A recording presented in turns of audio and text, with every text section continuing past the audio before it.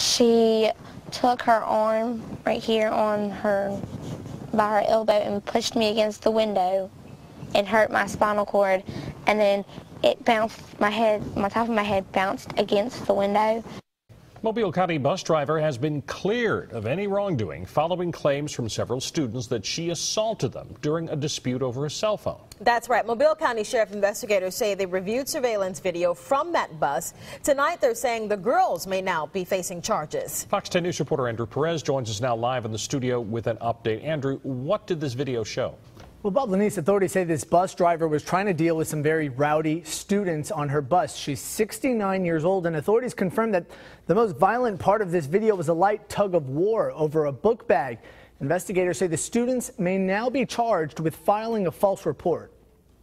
Yesterday, we introduced you to sisters Haley and Tammy Stapleton, the pair claiming they were assaulted by their bus driver on Monday after school. Some time has passed. Investigators have been working on the case. Today, officials decided they weren't buying it. After reviewing all the evidence, it was apparent that uh, what the children say in this case just wasn't reflected by the evidence. Officials say much of the dispute was caught on audio and video. Video shows the bus driver repeatedly asking the girl to get off her phone, which is against policy. Stapleton's mother said she was on the other line the entire time. and she says well give me that phone she says no ma'am I cannot because my mom told me not to and I did I told her not to The driver pulled over, and Haley claims that's when things turned violent. took her arm right here on her by her elbow and pushed me against the window and hurt my spinal cord. And then it bounced my head my top of my head bounced against the window The way she held it, she held it real tight, and it yanked forward and yanked back, and it felt like it popped. But video captured a very different story. The driver is seen trying to get the phone and lightly pulling at the girl's backpack.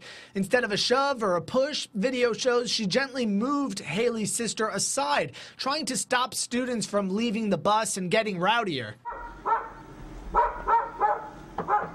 We reached out to the Stapletons for their reaction today, but no luck. Authorities say the girls are still on the hook. If anything, at this point, our detectives are continuing the investigation into possibly charging these juveniles with false reporting.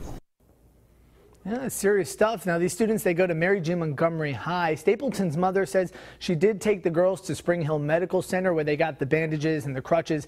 Authorities, though, believe that it may have happened when the girls escaped the bus at a stop that wasn't theirs to begin with.